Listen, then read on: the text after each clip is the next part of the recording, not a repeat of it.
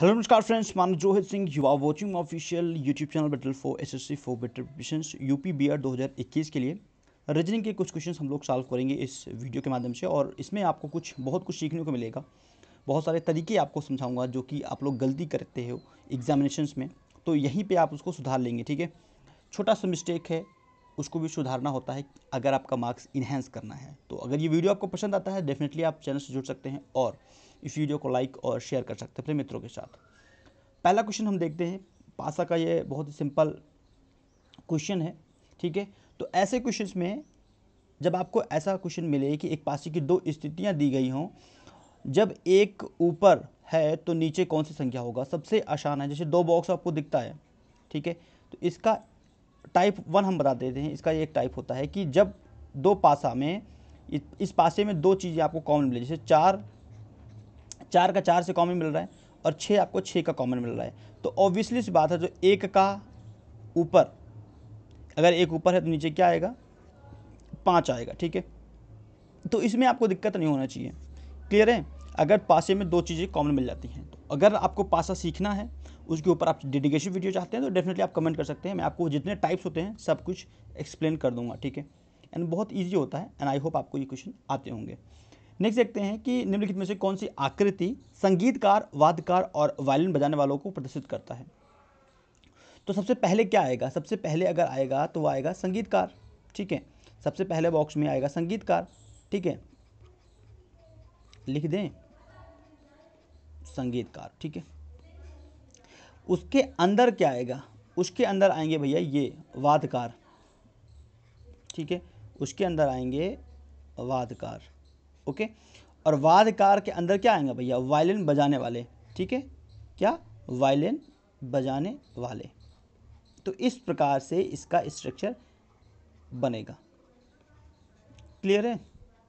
ऐसे सवाल मिलते हैं, ठीक है? जैसे आपसे कह देगा एशिया ऑप्शन दे देगा। फिर एशिया के अंदर भारत, फिर भारत के अंदर नई दिल्ली, ठीक है? तो ऐसा कुछ स्ट्रक्चर बनता है एंड ये सब इजी होता है। चलिए आई होप आपको समझ में आ गया होगा। नेक्स्ट देखते हैं थर्ड नंबर क्वेश्चन पुस्तक, अगर पुस्तक को प्रकाशित करता है, पुस्तक प्रकाशक, जो प्रकाशक होता है, वो पुस्तक को प्रकाशित करता है, उसी प्रकार फ़िल्म को क्या करता है? निर्माता, निर्मित करता है। फ़िल्म को निर्मित कौन करता है? फ़िल्म को निर्मित निर्माता करता है, ठीक है? क्लियर है? तो ऑप्शन डी इसका बन जाता है। फोर नंबर क्वेश्चन अगर देखते हैं तो इसमें आपको ना डियर आपको ए से लेके ए से लेके ए टू जेड आपको क्या करना है? नंबरिंग याद होना चाहिए। जैसे आपको कोई कहे कि भैया ओ का नंबर कितना होता है, आपको पता होना चाहिए पंद्रह। एस का कितना होता है? उन्नीस। आर का कितना होता है? अट्ठारह सभी लोग इसको याद करते हैं और आप भी याद कर सकते हो। इट्स ईजी याद कैसे करेंगे? इसका वीडियो बना रख, बना रखा हूँ। रीजनिंग के प्लेलिस्ट में जाएँगे तो यहाँ पर आपको थ्योरी पोर्शन मिलेगा। ए से जेड कैसे याद करते हैं? ट्रिक के माध्यम से, वो सब एक्सप्लेन है, ठीक है? आप विज़िट कीजिए। तो सबसे पहले आपको याद होना चाहिए और आपको अपोजिट वर्ड्स भी याद होना चाहिए। जैसे ए का अपोजिट क्या होता है? जेड ठीक है? इस इस प्रकार से पूरा। नेक्स्ट अब ऐसे जब क्वेश्चन मिलते हैं, सबसे पहले हम इसकी नंबरिंग करते हैं। सबसे पहले याद रखिए, आपको नंबरिंग करना है। जैसे कि मैं आपको लिख देता हूँ फ़िल्म ना? फ़िल्म का क्या है? A D G H so first all of इसकी नंबरिंग कीजिए। नंबरिंग कैसे करेंगे? जैसे एफ़ का सिक्स एन ट्वेल्व थर्टीन याद होगा तो मतलब दिमाग चलना शुरू कर देता है। आपको प्रॉब्लम नहीं होगा इसमें। ओके तो नाव इतना करने के बाद अब आप देख रहे हो कि भैया छः से अगर हम एक पे जा रहे हैं इट मीन्स हमें माइनस फाइव करना पड़ेगा। ठीक है? या फिर ऐसे सोचिए कि अगर हम यहाँ एक से छः पे जाएँगे तो प्लस पाँच पाँच करना पड़ेगा। चाहे आप प्लस पाँच कर दीजिए, चाहे इधर से करेंगे तो माइनस फाइव करना पड़ेगा। तो सिक्स से वन पे जाने के लिए हमें माइनस फाइव करना पड़ेगा। नाइन से फोर पे जाने के लिए हमें माइनस फाइव करना पड़ेगा। समझ पा रहे हो? और ट्वेल्व से अगर सेवन पे जाना है तो फिर हम यहाँ से माइनस करेंगे माइनस फाइव और थर्टीन से अगर एट पे जाना है तो मैं यहाँ भी माइनस फाइव ठीक है? उसी प्रकार हमें मिल्क भैया मिल्क है? तो मिल्क का नंबरिंग कर लीजिए। मिल्क का नंबर क्या होता है? तेरह आई का नौ एल का बारह के का इलेवन ठीक है? इसको आपको याद करना होगा, तभी आसान बनेगा। अब पाँच पाँच माइनस कर रहे थे चलो हम तेरह में से माइनस कर दो, पाँच माइनस करो। जब तेरह में से पाँच माइनस करेंगे तो आएगा आठ। नौ में से पाँच माइनस करोगे, क्या बचेगा? आएगा चार। बारह में से पाँच माइनस करोगे, आएगा सात। ग्यारह में से पाँच माइनस करोगे, छः, पाँच, ग्यारह, छः आएगा। ठीक। अब आपको पता होना चाहिए भैया, आठ को क्या लिखते हैं? आठ को एच लिखते हैं, चार को क्या लिखते हैं? चार को डी लिखते हैं। सेवन इट मीन्स आपका जी और सिक्स इट मीन्स आपका एफ़ ठीक है? तो H D G F option कौन सा मैच कर रहा है? देख लीजिए G F H D H H D G F ठीक है? ऑप्शन सी क्लियर हुआ? चलो आई होप आपको समझ में आ गया होगा। अब देखते हैं पाँच नंबर क्वेश्चन सो इसमें क्या है? चौबीस और साठ, जो रिलेशन इनके साथ बनेगा, वही रिलेशन हमें 210 में और जो या क्वेश्चन मार्क है, उसमें बनाना होता है। तो 24 से 60 कैसे कर सकते हो? तो बहुत सारे तरीके हैं। तो सबसे पहले जो बेसिक तरीका होता है कि हम, हमें स्क्वायर और क्यूब से हमें इसको आइडेंटिफाई करना होता है। तो क्यूब से अगर हम इसको करते हैं सबसे पहले, अगर थ्री का क्यूब करते हैं उनतीस करना उनतीस सत्ताईस। देखो, जब क्यूब या आपको याद रहेगा ना, आपको कम से कम दो से लेके और तीस तक आपको क्यूब याद करना है और स्क्वायर भी याद करना है। तो क्यूब और स्क्वायर आपको तैयार करना है, ठीक है? तो तीन तरीक नौ तरीक सत्ताईस सत्ताईस और माइनस तीन, ये हो गया चौबीस।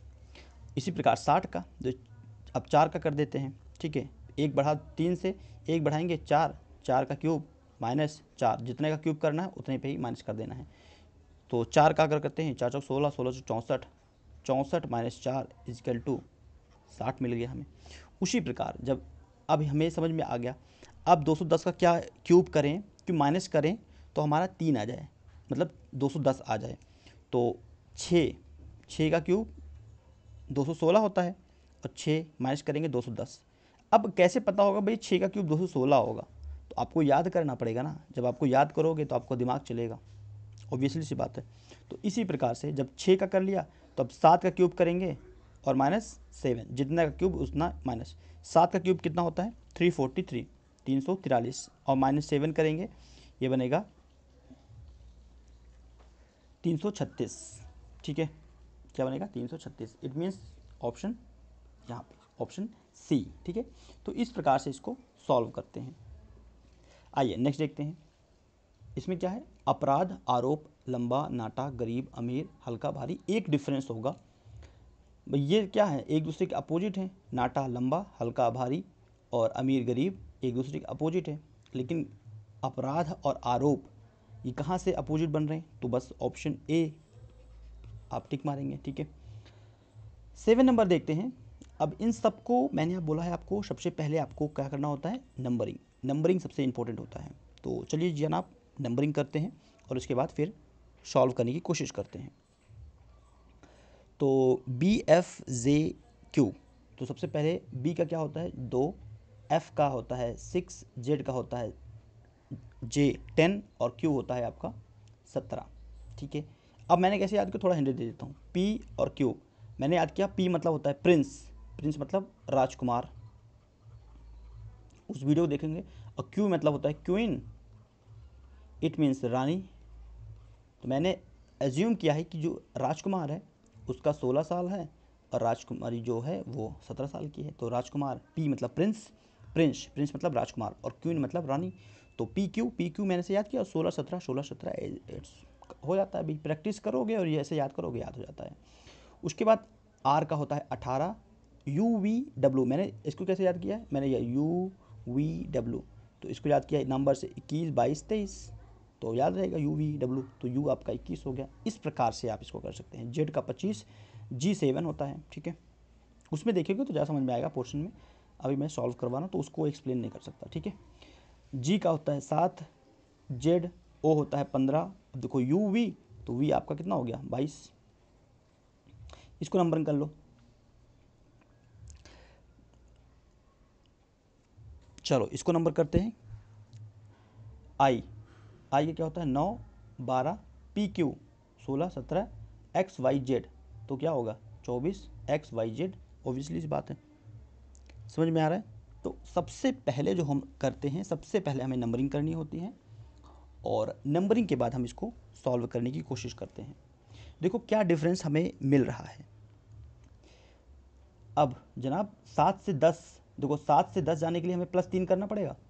प्लस तीन, ठीक है? प्लस तीन करना पड़ेगा और दस से पंद्रह प्लस पाँच मतलब प्लस पहले में प्लस तीन करना है और दस से पंद्रह जाने के लिए प्लस फाइव और पंद्रह से बाईस पे जाने के लिए प्लस सेवन।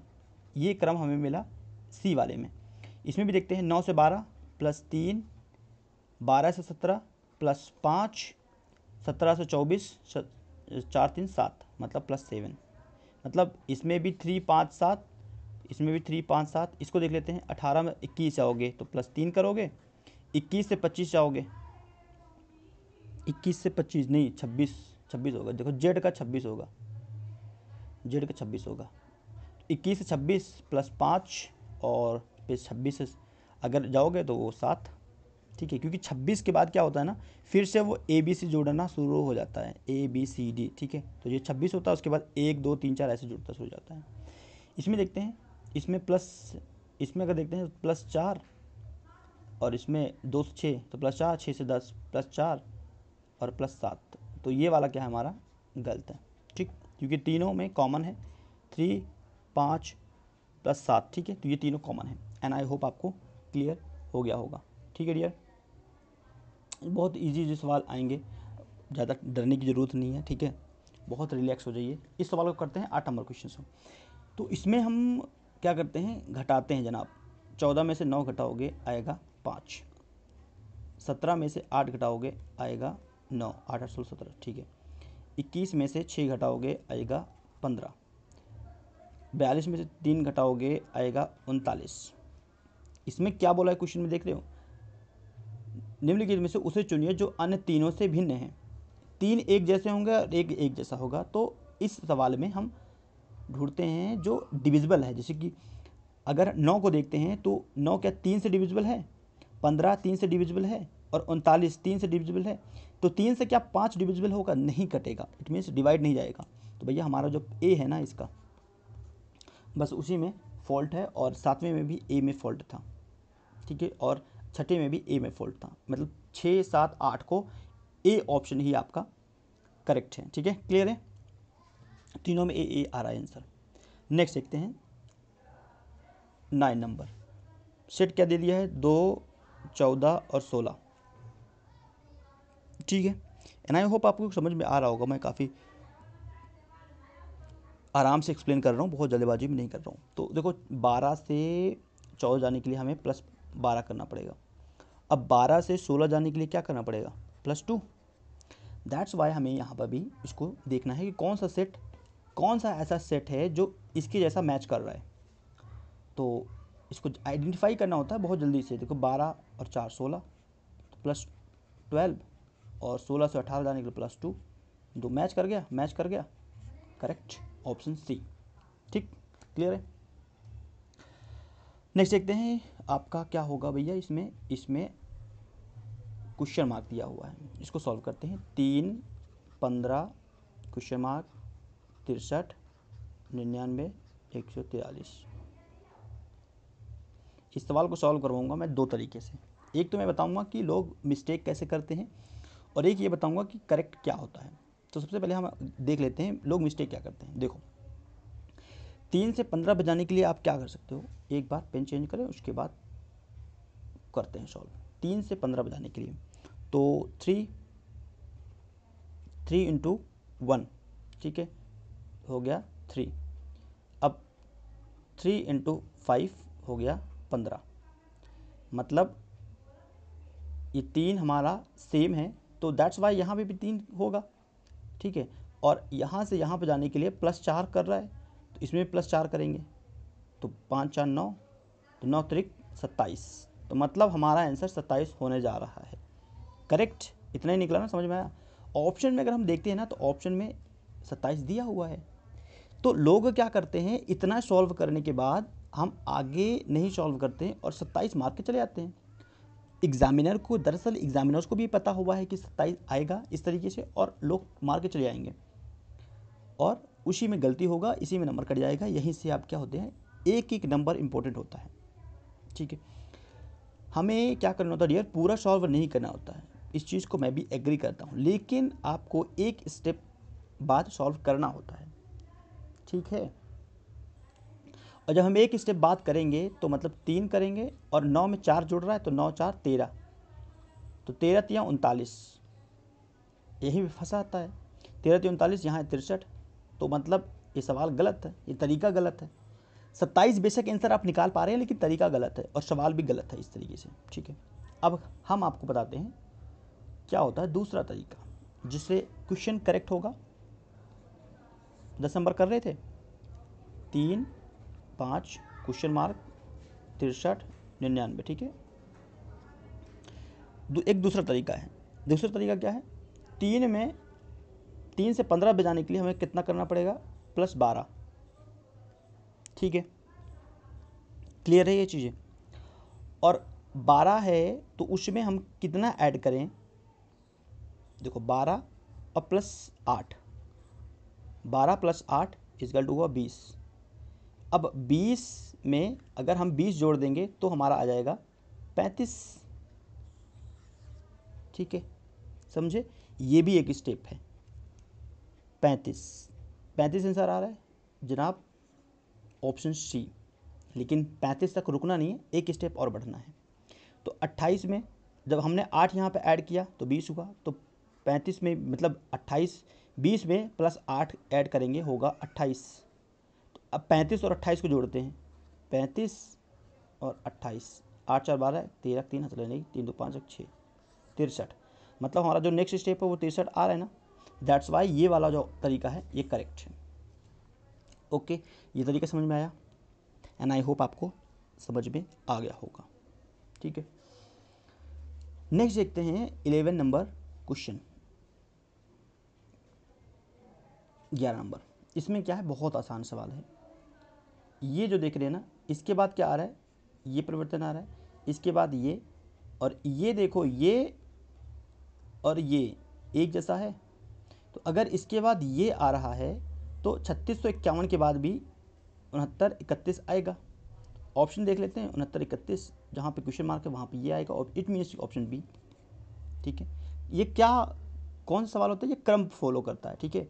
खाली क्रम होता है, बहुत ध्यान से करना होता है। इसी में बहुत सारा समय जाता है तो इसको प्रैक्टिस चाहिए, ठीक है? ऐसे सवाल को प्रैक्टिस चाहिए। प्रैक्टिस नहीं करेंगे तो ये क्वेश्चन बनने वाला नहीं होता है। अब इसमें बहुत लोग क्या करेंगे पता है? छत्तीस को आगे पीछे करते रहेंगे और फिर टाइम वेस्ट होता है। तो ये बहुत ईजी सवाल था। वही चीज़ें दिमाग थोड़ा सा लगाने वाली चीज़ थी।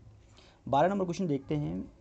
क्वेश्चन मार्क हमें फाइंड करना है। नौ से बारह बारह से अठारह अठारह से क्या लाना है? करते हैं। नौ, अब नौ में बारह लाने के लिए हमें क्या करना होता है? प्लस तीन और बारह से अठारह जाने के लिए प्लस छः मतलब हमें देख रहे हैं कि तीन के, तीन का टेबल तीन दोनों छः तीन तरीका नौ। ठीक है? तीन का टेबल जा रहा है। या आप मल्टीप्लाई कर दीजिए। टेबल जा रहा है मल्टीप्लाई कुछ भी खोलिए। तो अब अठारह में नौ जोड़ोगे। आगे आपका सत्ताईस ऑप्शन डी बस यही था। छोटा सा सवाल था, बिल्कुल। अब भी देखिए, इसको भी सॉल्व करते हैं। सबसे ईजीएस्ट है। देखो माय डियर फ्रेंड्स पहले हम आठ का क्या करते हैं? पाँच और दूना दस। फाइव का क्या करते हैं मल्टीप्लाई कर दिया। पाँच दूना दस। दस हो गया। और फिर दस का मल्टीप्लाई हम करेंगे आठ। आठ में ten into eight equal to ten into eight equal to अस्सी। अस्सी का आधा करेंगे, होगा चालीस। ठीक है? यही क्रम फॉलो हो रहा है। नेक्स्ट करते हैं। पाँच का चार में, पाँच चौक बीस और बीस तीन साठ। साठ है।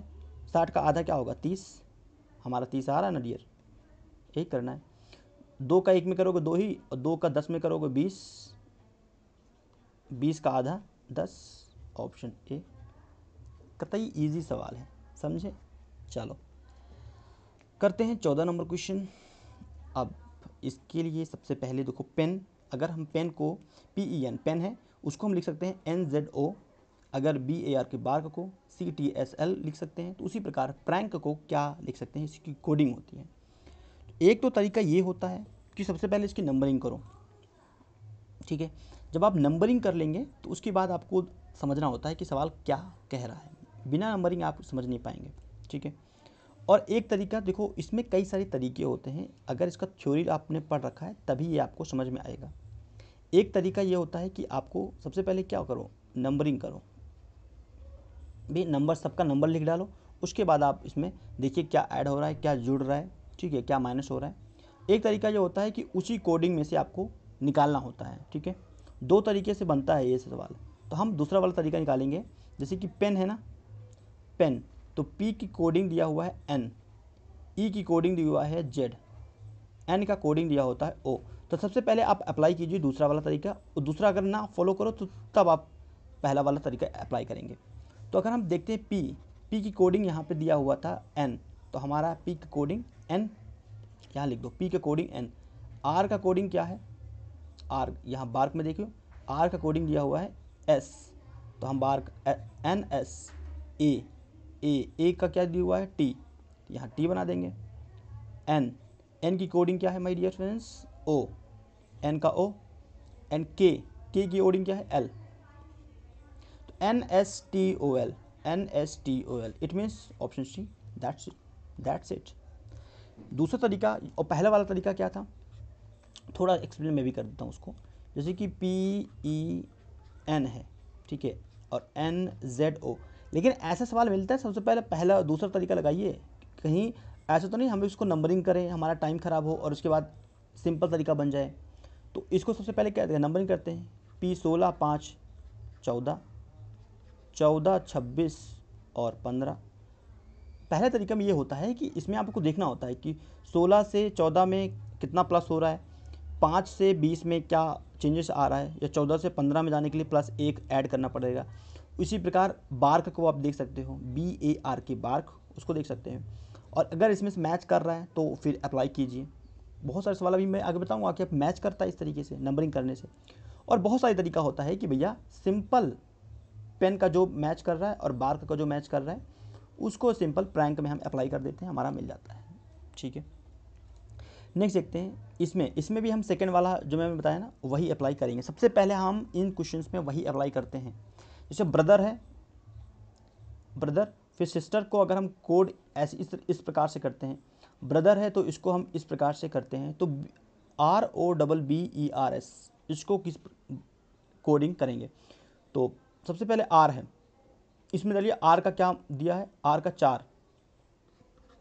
आर का चार हो गया। ओ ओ कहाँ पर है? भैया bro five five B B का ढूंढिए? बी का होता है दो। अब दो बार बी है तो यहाँ दो बार लिख दीजिए। है ना यहाँ पे? ई ई ढूंढिए, यहाँ पे है। ई का होता है आठ। आठ लिखिए जनाब, और उसके बाद आर ढूंढिए। आर को लिखा है चार तो लिख दी लो, चार लिख दिया। एस ढूंढिए, एस फॉर सिस्टर सिस्टर में है नाइन, ये नाइन कर दीजिए। अगर ये कोडिंग मिलता है तो आप आगे बढ़ जाइए। देखो, पैंतालीस, बाईस, आठ सौ उनचास, पैंतालीस, बाईस, आठ सौ उनचास इट मीन्स ऑप्शन डी काफ़ी ईजी होता है। लेकिन दूसरा वाला का तरीका लगाएँगे ना, तभी आपका सही जाएगा। अब कथन निष्कर्ष, तीन चार क्वेश्चन तो आने ही वाला है। भैया, कथन और निष्कर्ष में पढ़ते हैं, सबसे पहले कथन आराम से पढ़िए। अच्छे स्वास्थ्य के लिए शारीरिक व्यायाम आवश्यक है। कथन जो है ना पॉजिटिव कथन है। अच्छे स्वास्थ्य के लिए शारीरिक व्यायाम आवश्यक है। निष्कर्ष क्या बोल रहा है? निष्कर्ष कह रहा है कि जॉन सत्तर वर्ष की आयु में टेनिस खेलता है। भैया, निष्कर्ष का निष्कर्ष का कोई मतलब है क्या? कथन से कोई मतलब है? एग्जैक्टली exactly मतलब होना चाहिए, लेकिन इसमें कुछ मतलब है? नहीं मतलब है। दूसरा देखते हैं। अनियमित आदत वाले व्यक्तियों की अस्पताल व्यक्तियों को अस्पताल जाना पड़ता है। अब इसका भी कथन से कोई मतलब है? समझिए, दोनों का किसी कथन से मतलब है या नहीं? जब कथन का मतलब ही नहीं है तो हम क्या कर सकते हैं? ना तो निष्कर्ष भैया एक फॉलो कर रहा है और ना दूसरा फॉलो कर रहा है। दोनों ही फॉलो नहीं कर रहे हैं। समझ गया? बस सी ऑप्शन मार दीजिए। जब वो कथन को फॉलो ही नहीं कर रहा है तो क्या मतलब है? सत्रह नंबर क्वेश्चन देखते हैं। यदि वह बुद्धिमान है तो वह परीक्षा में उत्तीर्ण होगा। ये भी पॉजिटिव अगर बुद्धिमान है तो परीक्षा में उत्तीर्ण होगा। समझ रहे हो? अगर बुद्धिमान है तो परीक्षा में उत्तीर्ण होगा। निष्कर्ष का पहला स्टेटमेंट देखते हैं। परीक्षा में उत्तीर्ण होने के लिए उसे बुद्धिमान होना चाहिए। ठीक है, परीक्षा में उत्तीर्ण होने के लिए उसे बुद्धिमान होना चाहिए।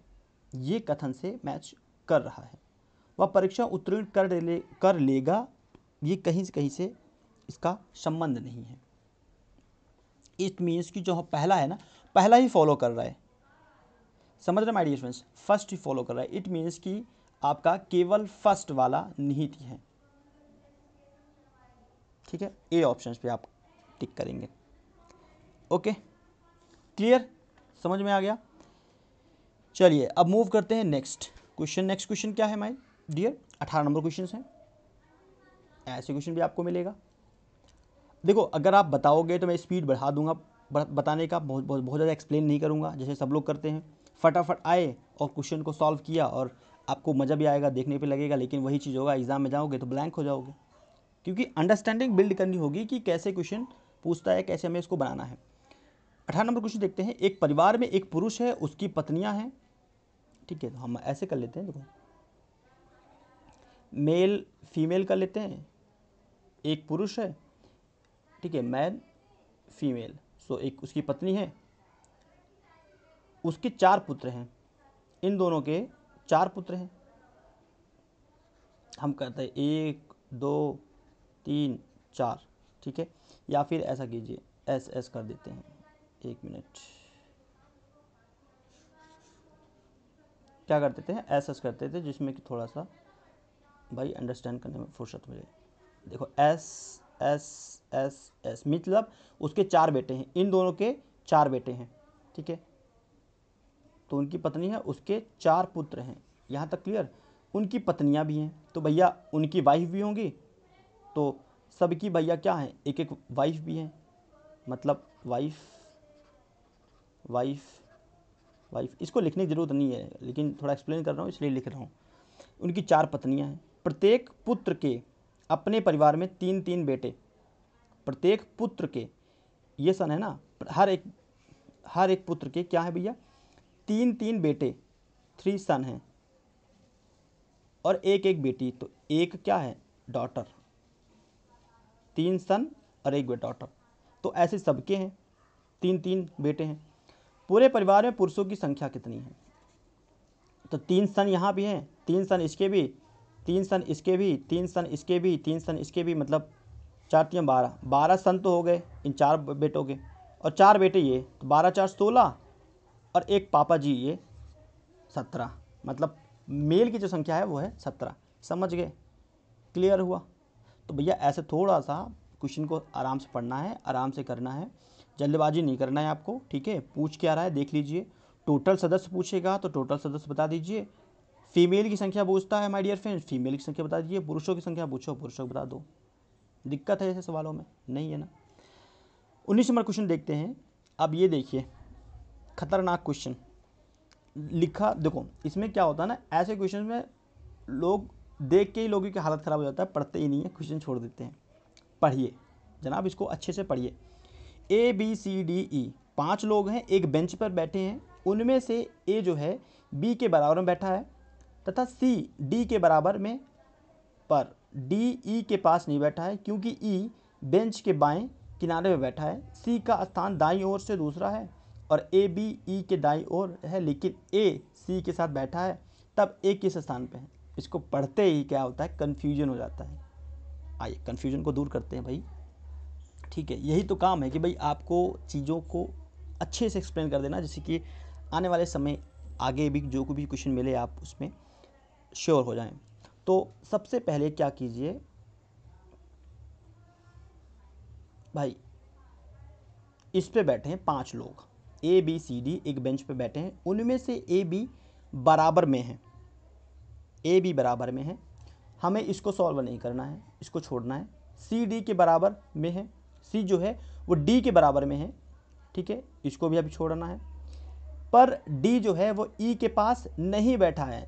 कंसीडर करना जो डी है वो ई e के पास नहीं बैठा है, क्योंकि ई e बेंच के बाएँ किनारे बैठा है। यहाँ से शुरू करेंगे। ई बेंच के बाएँ किनारे बैठा है। डायरेक्शन में अगर देखते हैं ना डायरेक्शन पड़े हो गए ना, बायां और दायां। आप समझिए, आप अपने आप को कंसिडर कीजिए, यहाँ पे आप बैठे हो। आपके अपने हाथ को देख लीजिए। आपका बायां हाथ ये है, आपका राइट हैंड ये है, दायां हाथ ये है। बोला है ई जो है, वो बाएँ हाथ पे बैठा है। मतलब इस साइड बैठा हुआ है, ई। हमने ई को बैठा दिया। तो ई का तो खेला ख़त्म। ई किनारे बैठा है। ओके। ये कह रहा है कि सी का स्थान दाई ओर से दूसरा है। सी का स्थान दाई ओर से मतलब इसके स्थान से से दूसरा स्थान पे सी बैठा है। अब हमारा सी का खेला भी ख़त्म। इसने क्या बोला है? सी डी के बराबर में है। सी जो है, वो डी के बराबर में है। इट मीन्स डी के बराबर मतलब समझते हो, ये एक दूसरे से पास पास है। ओके? अब दो बच रहा है हमारा और। इसने कहा कि देखो ई और डी के पास नहीं बैठा है ना। डी और ई के पास नहीं बैठा है तो हमारा ये फॉलो करना डी और ई कहाँ? बहुत अंतर दूर दूर हो गए। इनमें, उनमें से ए बी के बराबर में बैठा है। अब यहाँ भी, यहाँ पे देखते हैं। दूसरा स्थान। ए जो है ए बी और ई e के दाई ओर है। ए जो है बी और ई e के दाई ओर है। बी और ई e के दाई ओर है। मतलब ई और बी के दाई साइड में कौन बैठा है? ए बैठा है। यही तो बोल, देखो ना। जो ए है, वो बी और ई बी और ई इसके दाई ओर बैठा है। दाई ओर यही होता है ना भाई? समझ में आ रहा है ना? ए बैठा है। लेकिन ए और सी साथ बैठे हैं। अब ये भी बोल रहा है कि ए और सी साथ बैठे हैं तो बैठे तो हैं साथ साथ में। तब ए किस स्थान पर है? अब बताओ। इसमें भी कुछ पूछने वाली बात है कि भैया ई कहाँ पे हैं? इसके इसके बीच में बैठे हैं? बाबू साहब ए तो भैया बी और सी कहाँ हैं? बी और सी के बीच में। हाँ ऑप्शन बी की केयरफुली पढ़ना है इसको option B option B solve हुआ ना? समझ में आया? चलिए मूव करें। बीस नंबर क्वेश्चन ए और बी बहने बहने हैं। अच्छा जी। जब भी रिले जब भी ये रिलेशन वाले सवाल आए ना ब्लड रिलेशन बोलते हैं। हैं? इस पर खूब डराते हैं लोग। ब्लड रिलेशन सबसे आसान होता है। ब्लड रिलेशन जब भी आप करते हो ना तो अपने रिलेटिव्स को याद कीजिए। आप उन सगे संबंधियों को याद कीजिए उसको अपने क्वेश्चंस में ऐड कीजिए। फ़र्स्ट ऑल ऑफ़ जब ए बी बहने बहने हैं सपोज़ दैट मान लो सपोज़ दैट आपकी कोई मा, आपकी माता जी हैं आपकी माँ की बहन मतलब बी बहन हो गई तो मतलब आपकी क्या लगेंगी? एज्यूम कीजिए भैया मौसी लगेंगी? अगर ये मेरी ए हमारी माँ है तो बी हमारी मौसी बनी अगर दोनों के दोनों के बीच में क्या रिलेशन है? भैया बहन बहन है। अब बोल रहा है कि आर और एस भाई भाई हैं। आर और एस आर एस भाई भाई हैं। आर प्लस एस ये कौन कौन है? ये दोनों के बीच में क्या संबंध है भाई? भाई भाई हैं भाई भाई हैं। ए की बेटी ए की बेटी, भैया ए की कोई बेटी है। ठीक है ए की बेटी आर की बहन है। ए की बेटी, अब भैया, ए की बेटी हम मान लो कुछ भी। मान लो पी, जो बेटी है, बेटी पी है, पी तो इसका जो संबंध है वो आर से है। ए की बेटी, आर की बहन। ठीक है? ए की बेटी, आर का बहन। ओके? तो बोल रहा है कि बी और एस में क्या संबंध है? समझ में आया? बी और एस में। बी और एस में क्या संबंध होगा? इनका और इनमें क्या संबंध होगा? भैया, आंटी कहलाती हैं। समझे? क्या कहलाती हैं? आंटी। एंड आई होप आपको समझ में आ गया होगा। बहुत आसान होता है। क्लियर है? समझ में आया? और समझ में आकर कोई क्वेश्चन ना आया हो तो कमेंट कर देना, ठीक है? मैं नेक्स्ट वीडियो में उस क्वेश्चन को फिर से बताऊँगा आपको, ठीक है? क्लियर हुआ? तो बीस क्वेश्चन था। मुझे पता है, थोड़ा मैं स्लो पढ़ाया, लेकिन आप लोग कहेंगे तो मैं फास्ट भी पढ़ा दूँगा। और आप पे डिपेंड करता है। एंड मेरा काम था कि आपको समझाना और आपको अंडरस्टैंड करवाना, एंड आई होप आपको समझ में आ गया होगा। Thank you for watching this video. Next video फिर मिलते तब तक के लिए धन्यवाद फ्रेंड्स।